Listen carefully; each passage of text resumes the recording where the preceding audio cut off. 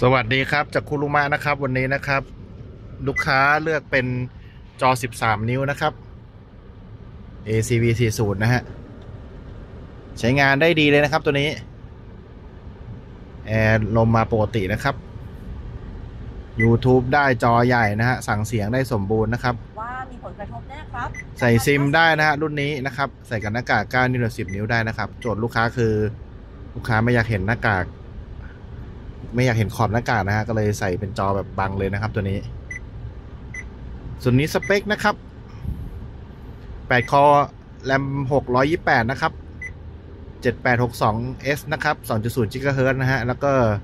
ตัวจอเป็น 2K ด้วยนะครับ รุ่นนี้นะคะเพิ่มเสียงลดเสียงได้นะครับ Google Map แบ่ง 2 จอได้หมดนะฮะตัวนี้ จอใหญ่สุดในเซกเมนต์ของ Android นะฮะ 13.1 นิ้วนะครับ ตัวนี้นะครับ แล้วก็ ใช้งานพวงมาลัยสมบูรณ์ต่อกล้องมองหลัง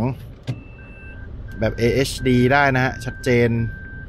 ครบถ้วนสมบูรณ์นะครับ รุ่นนี้นะฮะ แล้วก็ตัว Google Map นะครับผมสั่งเสียงได้นะฮะ เมกะบางนา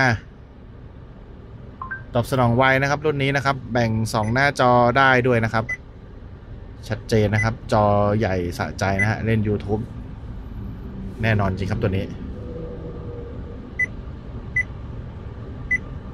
ทดสอบทดสอบ